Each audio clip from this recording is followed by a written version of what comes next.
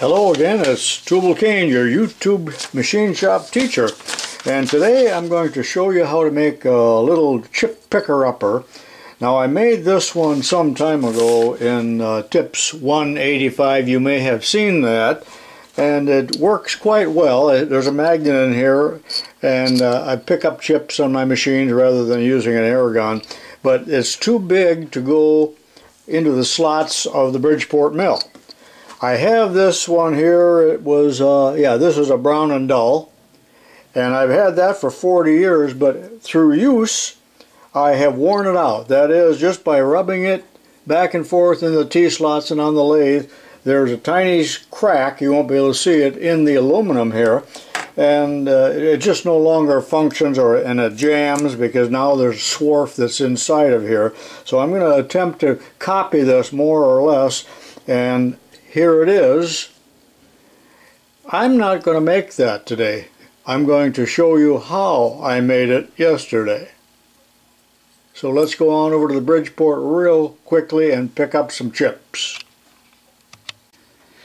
This is a simulated demonstration because as luck would have had it, I cleaned this machine the other day and took out the garbage so there was no chips. So that the chips that, uh, that are on here I dumped off the lathe, they're turnings. But quite often, uh, in addition to using a brush, and for you guys that are using air hoses, you know, this doesn't really apply, but I, I don't like air hoses, but you can get very easily, you know, into the T-slots. Now, if you got 10 pounds of chips, this might seem kind of foolish to you, but generally you've done uh, the majority of the cleaning, and then you're trying to clean the uh, swarf that's left in there. So that's the purpose of this, a retractable magnet complete with pocket clip. Now what's this enlarged doodad for, you're thinking? Well, you know, you, cannot uh, insulate from magnetism. The only thing you can do is to uh, create some distance in there, and the chips would follow the magnet up the tool as I retracted this so it's thicker right here and the, magnetism has less of a chance to travel through that thickness because it's just a greater distance. Otherwise the chips as you watch this will follow it up see but most of them are getting knocked off there but when I do it too slowly they don't. So that's the purpose, and in fact, it could use just a little more thickness here. So if you're going to make one of these, make it a little bit thicker than what I have right here, which is 3 eighths. The material to be used for this is hobby brass. You've seen me use that before, and you can get that at any hobby store or hardware store. And I used 5 16 diameter. I did not close this up for the final time, so here's how it's constructed. This will be held in with Loctite in about a half hour. But I take the aluminum rod out with the magnet. Now you can see that this is just a piece of 5 16 thin wall tubing. And I did solder the end on. I tried Loctiting it, but uh, there's such a short length of engagement that that was kind of a failure. So I soldered it, turned it down, and uh, that makes a nice end cap. And how thick is it? A sixteenth or less. I'll talk about this later on, but that's all there is to it.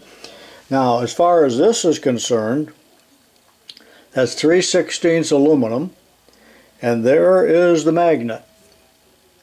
Now that's a tiny little uh, neodymium magnet. It's quarter inch in diameter, oh about eighth inch thick, doesn't really matter, but it had a hole in the center of it. Where did I get this? From my brother, I guess. Uh, but I only had one of them. That's why I'm not making another one now. I'm just telling you how to do it by way of this uh, um, prototype. You see, some of these magnets come with a hole in them. Some do not. Now, you cannot drill a hole in there, so don't even try it. They're very hard and they're very brittle. And I had thought about even robbing the magnet out of some other tool, like this pickup tool, but then I'm robbing Peter to pay Paul, so that seemed kind of foolish. And in fact, I think you're better off with a, a, weaker magnet than these neodymium which are so strong that, that, I have trouble with the chips crawling up the tool as just uh, shown a few minutes ago. But anyway, that has to be your source for magnets. And then how did I fasten it on the end? Well, I don't have much faith in super glue. I know some of you people do it. I've just seen it failed too many times. And a matter of fact, if you haven't uh, driven a car and ended up with your rearview mirror falling into your lap, coming off the windshield, then you just must still be a young man because that's happened to me countless times and that's super glue. So 3 16 rod, a little magnet. How did I hold it on? With number one, one inch long, 17 gauge, which is a little bit smaller than 16th inch, and that went right through the hole. It's a smaller hole in here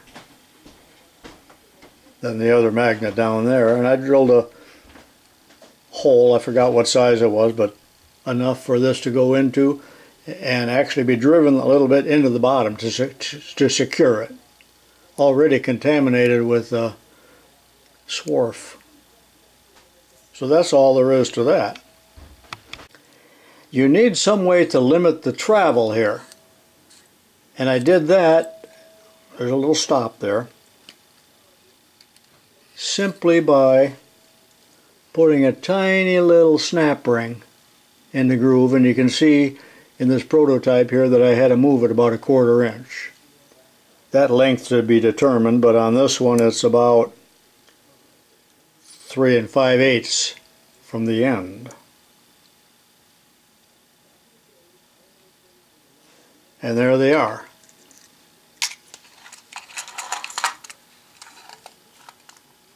That one there, they only cost 15 cents. 40 years ago, that is. They're probably 95 cents now. Now, since you won't have any of those in stock, an equally good way would be to take just a short little piece of the hobby tubing of the appropriate size, and I didn't have the right size, make a little sleeve, or turn one on the lathe, whatever. There's a lot of different ways of doing that. And then here, for grip and ornamentation purposes, are just five little grooves made with a threading tool to afford you a grip.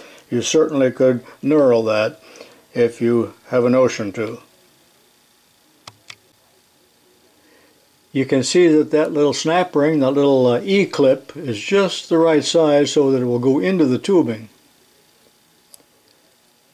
And then this is a little piece of brass. I did turn that on the lathe 5 sixteenths on the uh, OD, the largest diameter, and turned down so it will fit inside the tubing, which was approximately 281 thousandths or so.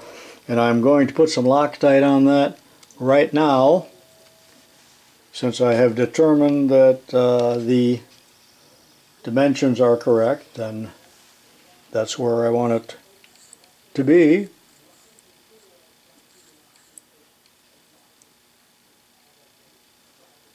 I'm using some red Loctite, which takes about an hour to harden or set.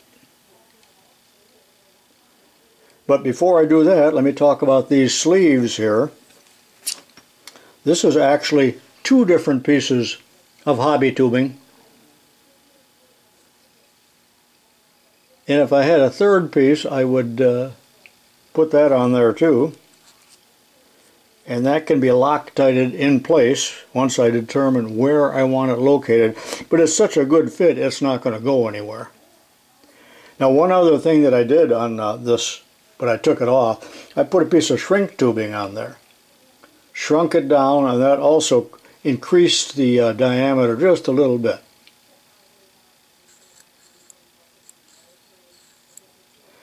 these pocket clips I think you can still get them at office stores, but I just happen to have these in stock. You know, they used to have one of these on virtually every Bic pen. There must be billions of them in the landfills. So there it is, basically copied off the Brown and Dull magnetic chip remover for the T-slots on the Bridgeport mill. Hope you enjoyed this short little video, and it's one of the shorter ones I ever made. And I'm just showing you how to make something rather than doing it because you've mastered all these other skills by watching many of my other videos. So this is Tubal Cain saying so long for now. And now I'll put this on.